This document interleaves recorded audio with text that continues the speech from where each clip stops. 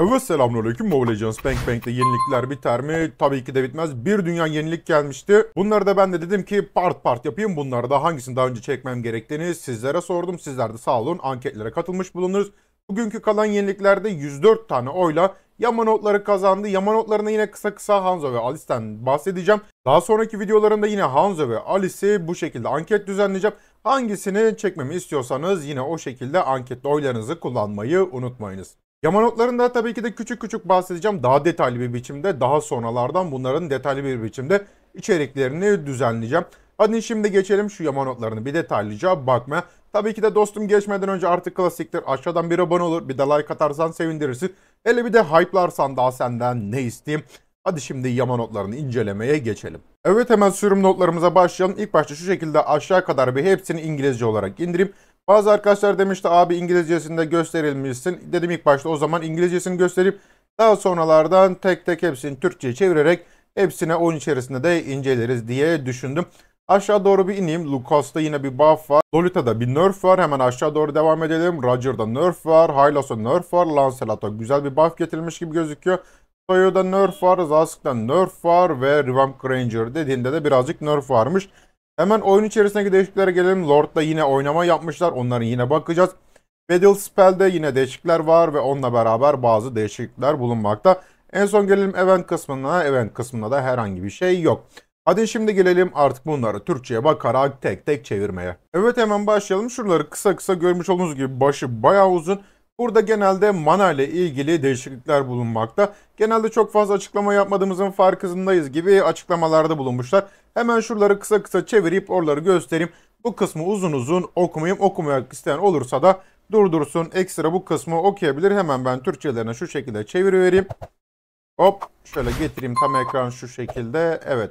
Şu kısmı bu şekilde okuyabilirsiniz. Buraları okursam çok fazla uzayacaktır. Ben bu kısmı okumak istemiyorum açıkçası. Şimdi aşağıdaki maddelere doğru devam edeyim. Genelde bu tarafta bahsettiği şeyler hep mana ile ilgili. Yok yok büyük kahramanlarının manaları ile ilgili. Yok fiziksel kahramanların manaları ile ilgili birkaç tane açıklamada bulunmuşlar. Ama zaten yapacaklarını yapacaklar. Pek bize danıştıkları olmuyor açıkçası. Aşağı doğru devam edeyim Türkçeleştirerek. Buraları genelde okumak isteyenler durdurup ekstra olarak okuyabilirler. Ve son olarak da 3. ve 4. maddede bu şekildeydi yaptığı yenilikler. Yani üst tarafta mana ile ilgili değişikliklerin nedenlerinden bahsetmişler buraya kadar. Oraları tek tek durdurup ekstra olarak okuyabilirsiniz. Hemen biz geçelim karakterlere getirilecek olan değişikliklere bakmaya. İlk önce hemen bir Hanzo'nun revamp'ından bir başlayalım. Görmüş olduğunuz gibi birçok özelliği değişti. Bunları direkt oyun içerisinde göstereceğim. Tabii ki de oyun içerisine geçmeden önce bu yama notlarındaki halini bir Türkçe'ye çevireyim dedim. Hemen bir ikinci yarısına geçelim çünkü bayağı uzun yapmışlar bu sefer.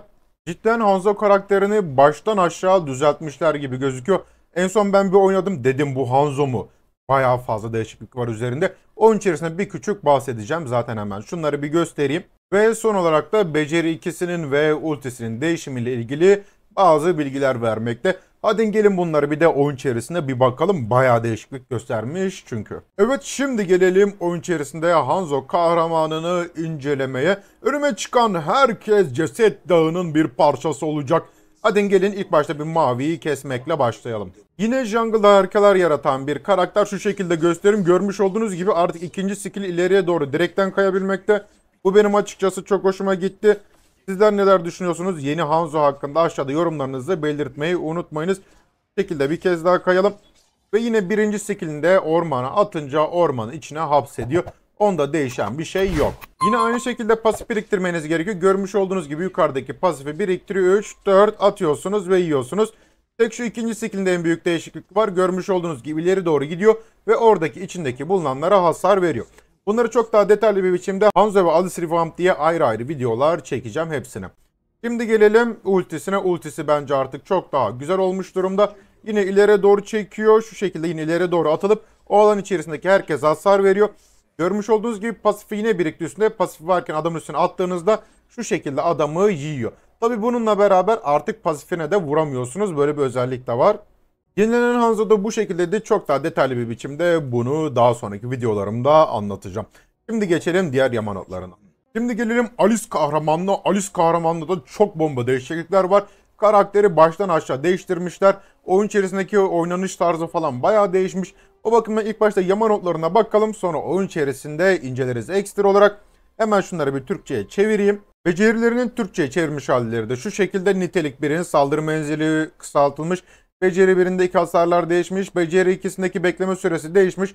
Bunları oyun içerisinde zaten ekstra olarak göstereceğim. Son olarak pasifini Türkçe'ye çevirip ondan sonra oyun içerisine geçelim. Ve son olarak pasifindeki ve ultisindeki değişikliklerde bu şekilde hemen gelin bir oyun içerisindeki bu değişiklikleri bir görelim. Cidden Alice kahramanı çok fazla değişmiş. Yorumlarda siz de izleyince belirtmeyi unutmayınız Alice kahramanı hakkındaki fikirlerinizi. Evet hemen gelelim Alice kahramanını incelemeye. Birinci skillinden başlayalım. Birinci skill yine ileriye doğru top fırlatıyor. Ve topun yanına gidebiliyorsunuz. Sıkıntı yok. Aynı. Kontrol skilline gelelim. Kontrol skilline bastığınızda yanındaki adamlara hasar veriyor. Ve bununla beraber adamları yere sabitliyor. Ve gelelim ultisine. Ultisi en çok değişen şeylerden bir tanesi. Görmüş olduğunuz gibi çok geniş alana hasar veriyor ve bunun ardından adamlardan bir küçük can çalıyor gibi gözüküyor. Bunları daha detaylı bir biçim daha sonralardan işleyeceğiz. Şimdi diyorsunuzdur abi e bunun ultisi gitti. Nerede bunun ultisi hemen onu da göstereyim. Birinci skill attığınızda görmüş olduğunuz gibi adama hasar verdiğiniz aşağıdaki pasife etkinleşti. İkinci veriyorsunuz pasife 2'ye çıkıyor ve ulti attığınızda pasife 3'e geliyor. Bununla beraber eski ultisi tekrardan bu şekilde kullanılabiliyor. Yani eski ultisini bu karakterin pasifine işlemişler. Haberiniz olsun. Yeni hali çok absürt değişik olmuş ben bilmiyorum artık. Alice mainler aşağıda yorumlarınızı bekliyorum. Yenilenen Alice de bu şekilde daha detaylı bir biçimde daha sonralardan tek tek skilllerini okuya okuya devam edeceğiz. Şimdilerde yama notlarına devam edelim. Ve şimdi gelelim Lucas amcamıza önceki ayarlamaların kısmen geri alınması denmiş.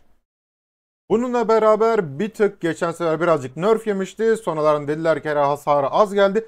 Bununla beraber Lucas amcaya hasar konusunda biraz artı getiriyorlar. Görmüş olduğunuz gibi flash kombinasyonunda birazcık plus plus hasarlar getirilmiş. Evet şimdi gelelim hemen Lolita karakterimize bakmaya hızlıca pasifinden başlayalım. Yenilenmiş pasifi enerji çekirdeği Lolita'yı geliştirmek için enerji üretmeye devam ediyor. Güzel. Her saniye 15 yığına kadar biriken bir yığın şarj ediyormuş. Lolita her beceri kullandığında yüklenen yüklerin tümünü kullanarak kendisi ve yakındaki müttefik kahramanlara bir kalkan kazandıracak demiş. Güzel. Her yığın 5 saniye sürüyormuş. Bununla beraber 20 artı %1'lik ekstra maksimum HP ve bununla beraber bitmiyor. Artı %5'lik toplam büyü gücü kalkanı sağlıyormuş.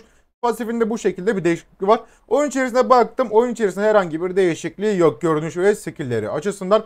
Sadece becerilerinde birazcık değişiklikler var. Ondan dolayı sadece okumayı tercih edeceğim. Beceri birindeki değişiklik ise pasif kalkan tetikleyicisi ilk atılmadan önce değil de ilk atılmadan sonra kullanılacak artık. Sadece bir düzenleme mevcut. Beceri ikisinde ise nerf yapmışlar. Kalkan hasarı emilimi artık 1000 ile 2000 arası artı %15 toplam HP yerine 500 ile 1000 arası olup %20 ekstra maksimum HP olacakmış. Bununla beraber bekleme süresinde yükseltmişler. Normalde 15 ile 12,5 saniye iken şu anda artık 15 saniyeye gelmiş durumda. Lolita'daki değişiklikler de bu şekilde de şimdi geçelim Roger'a bakmaya. Ya arkadaş şu karakteri bir salın artık ya şu Roger'ı niye elleyip duruyorsunuz? Tamam güçlü karakter de bu kadar yama notlarına nerf getirmenize gerek yok. Daha öncelerden de nerf getirmişlerdi. Bu yamada da nerf gözüküyor.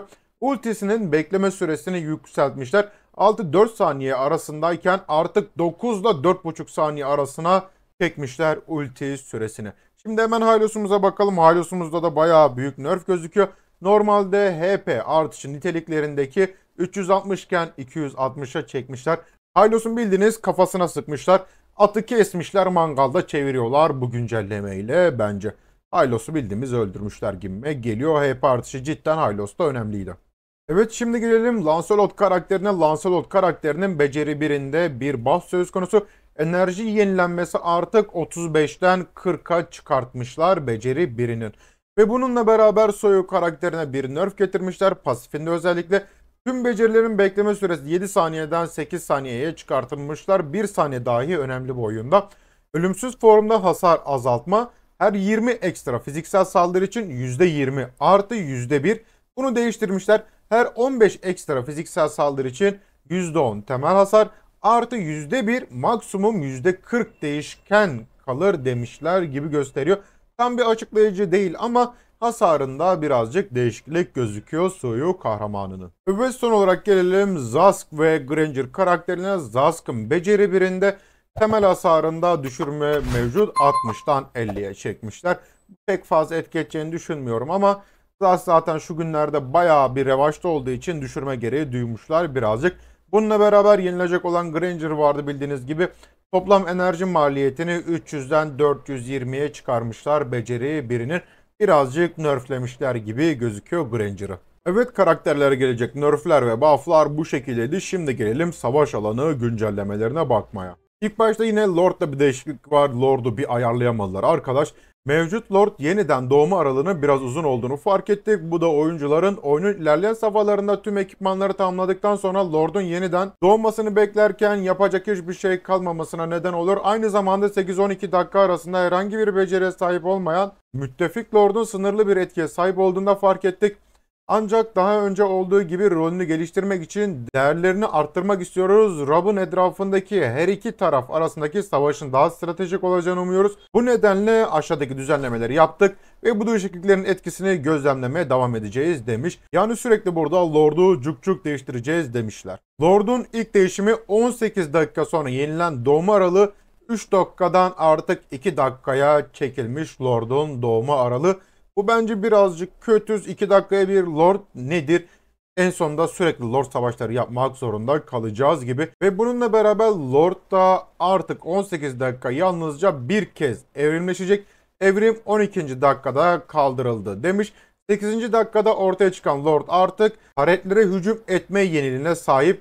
Ancak yalnızca taretin maksimum HP'sinin %30'una eşit gerçek hasar verecekmiş. Müttefik Lord'un HP'si mevcut sürümün yaklaşık %85'ine ayarlanmış. Base turret'in enerjisi artık Lord'un maksimum HP'sinin %50'sine eşit hasar verecekmiş. Yani bununla beraber demek istemiş ki 8. dakikada Lord'u birazcık arttırdık. 12. dakikada çıkan Lord'u artık 18. dakikaya çektik ve gücünü birazcık azalttık demişler.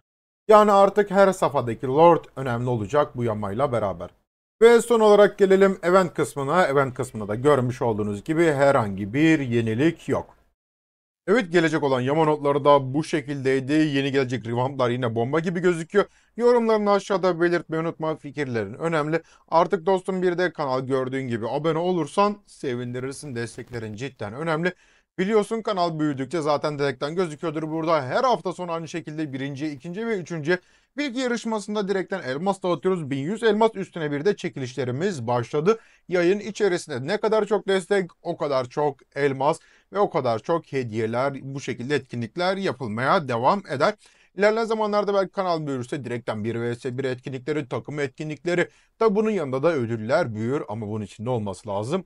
Dostum senin oradan artık bir beğeni tuşuna basman lazım. Bir abone ol tuşuna basman lazım. Üstüne bir de hype'laman lazım ki öne çıkalım, büyüyelim ve bu sayede daha fazla etkinlik yapabilelim. Kendinize iyi bakın. Allah'a emanetsiniz. Dayanora.